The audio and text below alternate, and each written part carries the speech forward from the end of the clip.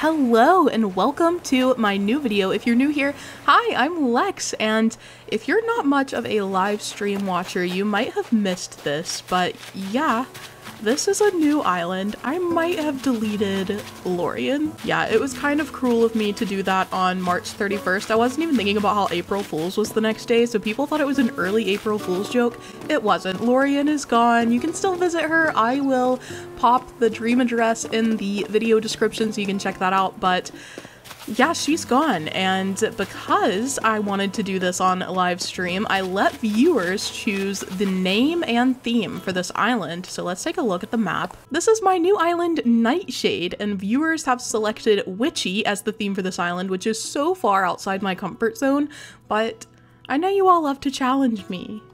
Just to be nice, right? My starter villagers are Kid Cat, who is a super lucky villager. I mean, a little cat. Are you kidding? Look at him. And even though I was just on the map, I've already forgotten the girl villager. I think it's Tammy? Hold on. Look at me with my impeccable memory. It is Tammy. So those are the villagers that we're working with. I don't think either will stay because neither of them are giving witchy vibes. It's also bunny day season here on the island, which is less than ideal.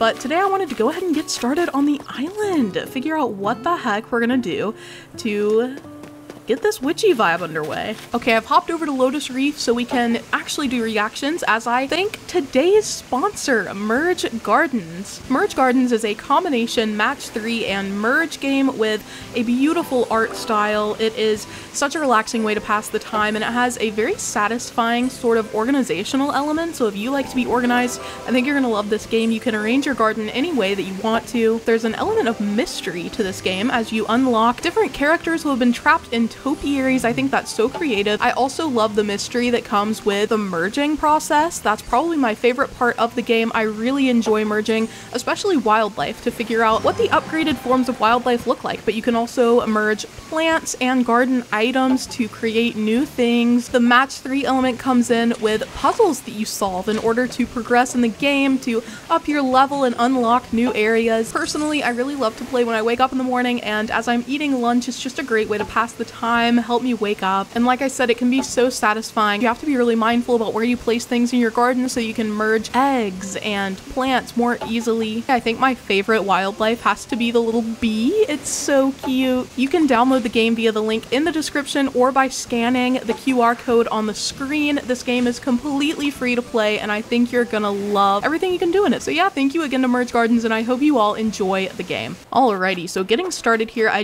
did want to say I have not had a chance to cheat myself into having better items yet. I haven't visited my other island to pick up some stuff that I know I'd want, so we're really working with the bare minimum here. Absolutely nothing. I honestly don't think I even gave critters to Tom Nook, so we don't even have the museum yet. Also, I mean, help me out friends, family, enemies. What the heck am I gonna do with the museum? Do I build it and make it some kind of like mausoleum? I don't know. I can't even give Tom Nook my critters because I have to talk to him. Oh my gosh, are they already talking about Nook's cranny?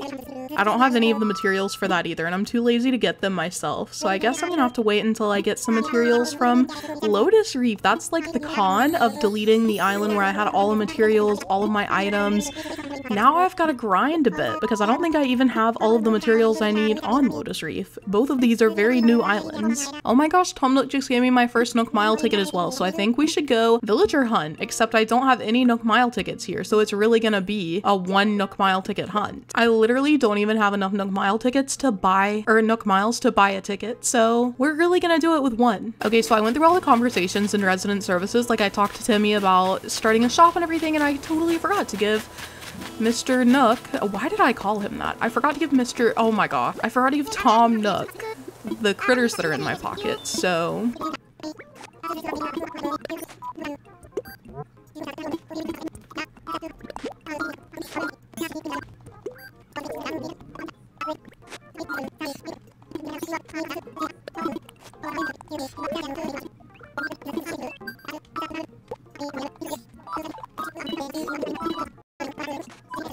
Even though I was flying through that as fast as I could, I felt like that conversation took 10 years, so I sped it up for you. You're welcome. And I don't want to hear a single one of you in the comments talking about, oh my gosh, Lex, this makes me want to restart my island. Did you see how long that took?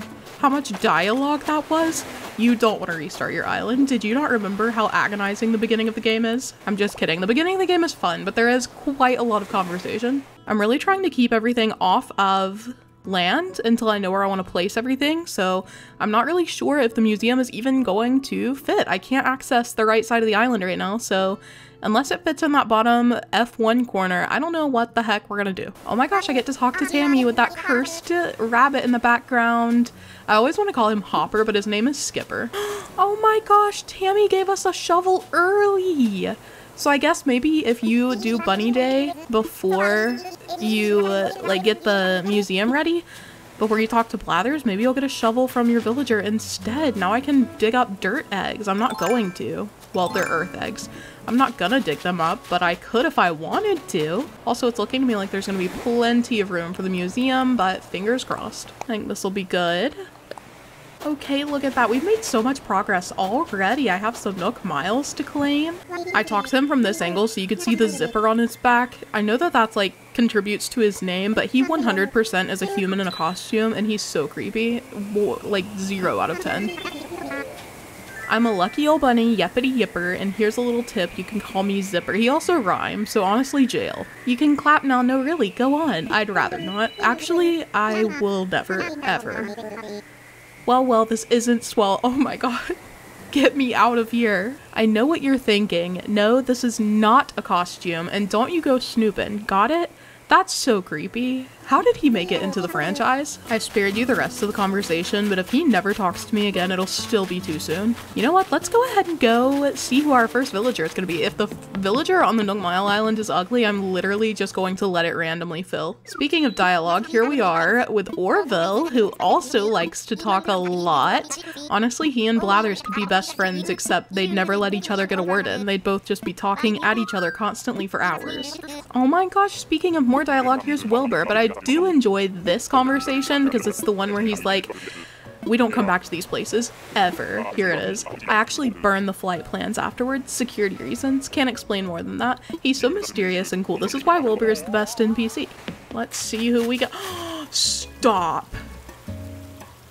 Did I bring a vaulting pole? No, I think I can jump though. Oh my god. Oh my god. How do you make- can I make a vaulting pole? We have to bring Coco. She's perfect for a witchy theme. How did this happen? How has this come to occur? I don't have a vaulting pole, but let's see what it takes and we'll just have to make one because we are not leaving this island without her. Guys, bad news. I don't have the vaulting pole recipe yet. Think there's a way to run over there. We'll just um, hope for the best here. I think this. I think the spiral islands are totally accessible. Yeah, here we go. Look at her.